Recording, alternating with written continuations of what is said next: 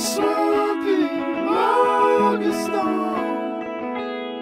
What a mischief you would bring, young darling. When the not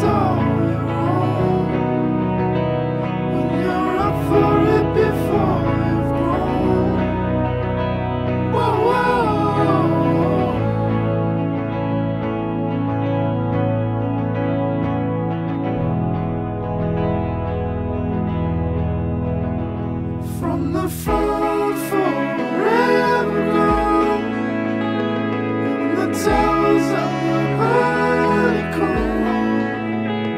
I'd have tore your hair out just to climb back.